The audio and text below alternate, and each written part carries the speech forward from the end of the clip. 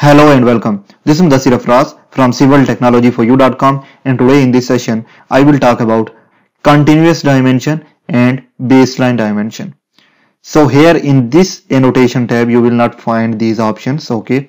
For that you will go into the annotate tab okay here and here you can find that one. For example this is what continuous dimension type and this is baseline dimension type.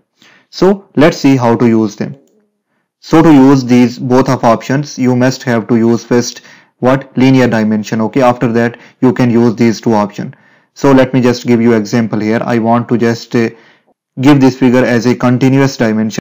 For that I will just take a command of dimension. Okay I will first give first point and second point. Okay so this is what linear dimension.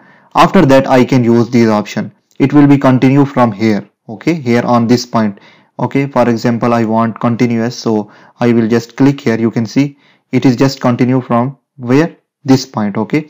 Now I will give second point then third point okay? I can use here as a linear dimension as well but it will be time consuming. If there is very large figure or a large project and if you want to just give a continuous dimension you can use this option. This is very helpful option okay? Let's see another option that is baseline for that what I will do I will just take a linear dimension from here okay? From here to here okay? Same procedure is here.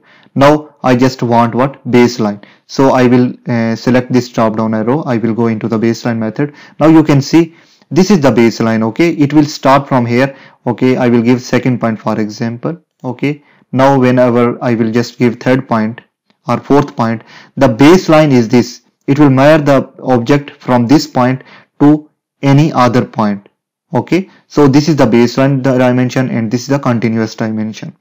And if in baseline dimension the distance between these two lines okay these two dimension is less then you can change that one. For that you will just type here a command okay? I will just exit from this command first and I will type here a command of D. I will hit enter. Now I will go into the modify. Okay now I will just go into the lines. Okay this option.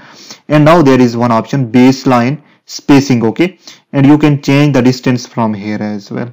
That what you need. Okay so I will just click OK then I will set set current. Then I will close this one. If this distance is not good so these was two methods one is continuous and another is baseline method. These two are very helpful method. I hope you understand this session. Thank you